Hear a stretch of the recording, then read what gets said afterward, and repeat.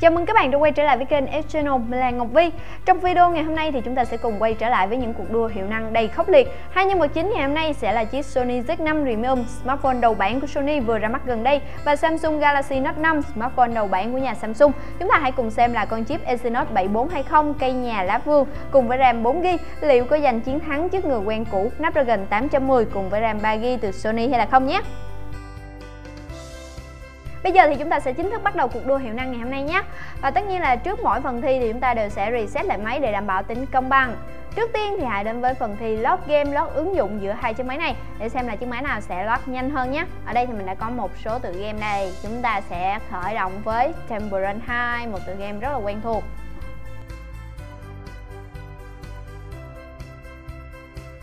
Xem nào.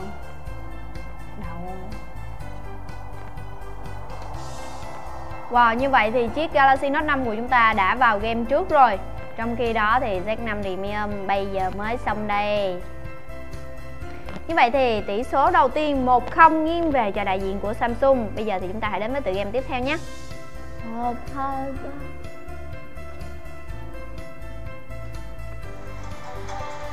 Rất nhanh Galaxy Note 5 của chúng ta đã lót xong game trước và tiếp tục một điểm nữa dành cho đại diện của Samsung. Tỷ số hiện tại đã là 2-0 rồi.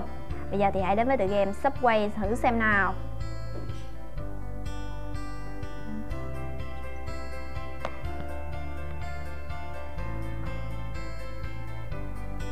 Wow Galaxy nó nằm quả thật rất là nhanh.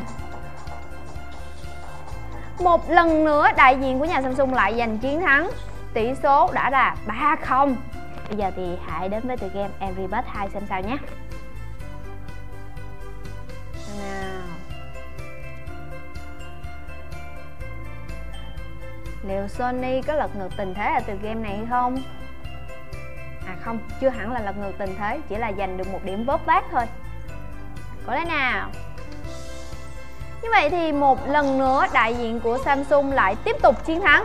Tỷ số hiện tại đã là 4-0 rồi, hầu như là phần thi này đã có kết quả nhưng mà thôi chúng ta cứ đến với tựa game đua xe cuối cùng nào. nào.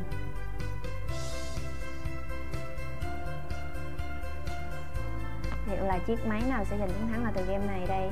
Có vẻ là chiếc Galaxy Note 5 của chúng ta lại vượt lên trước rồi. Cả hai chiếc máy đều đang lót game.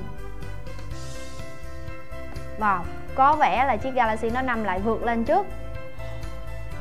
Như vậy thì chiếc Galaxy Note 5 của chúng ta đã lót xong game Trong khi đó thì Z5 Premium vẫn đang cầm cụi. Thôi thì kết quả đã quá rõ ràng. Kết quả chung cuộc của vòng thi này là một chiến thắng hoàn toàn áp đảo dành cho Samsung Galaxy Note 5 với 5-0 Một chiến thắng tuyệt đối trước Z5 Premium còn bây giờ thì chúng ta sẽ đến với phần thi rất là quan trọng, Đó là phần thi tổng hợp bao gồm tất cả những tựa game vừa rồi. Có vẻ như là với phần lót game thì Samsung Galaxy Note 5 đã giành một chiến thắng áp đảo rồi. Tuy nhiên thì khoảng đa nhiệm của Samsung chúng ta đã được biết Và chúng ta hãy xem là RAM 3GB của Z5 Premium liệu có thể lật ngược được tình thế trong vòng đua tổng hợp hay không nhé và tất nhiên là chúng ta lại tiếp tục reset hai trong máy này để đảm bảo tính công bằng trong phần thi chính này. Bây giờ thì bắt đầu nhé. Tăng tăng, tăng tăng, mời em.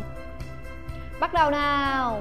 Wow, chiếc Galaxy Note 5 của chúng ta có vẻ là nhanh hơn một chút rồi.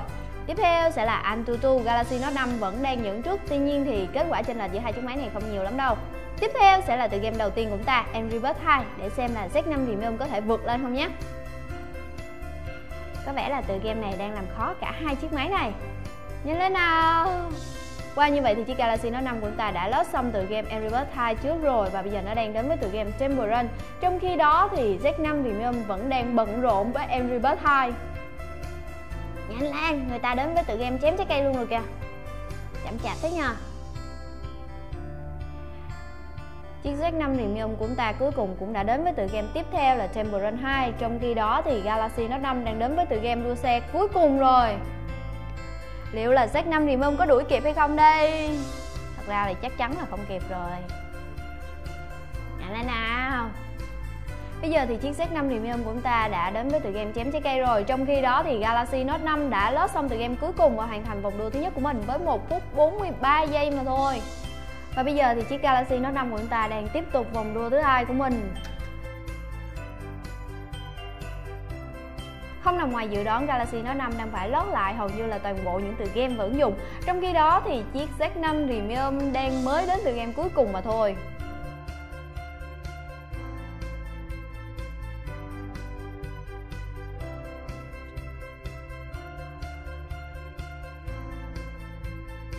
Bây giờ thì chiếc Galaxy Note 5 của chúng ta đã đến với tựa game chém trái cây rồi.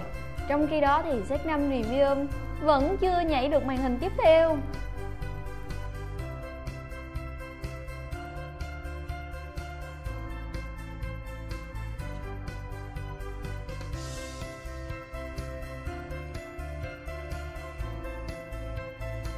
Galaxy Note 5 cũng đã đến với tựa game cuối cùng rồi Tuy nhiên thì đây đã là vòng đua thứ hai của nó, Trong khi đó thì Z5 Premium vẫn chưa lót xong tựa game của mình Cuối cùng thì chiếc Z5 Premium của chúng ta cũng đã lót xong và hoàn thành vòng đua thứ nhất của mình với khoảng thời gian 3 phút 26 giây.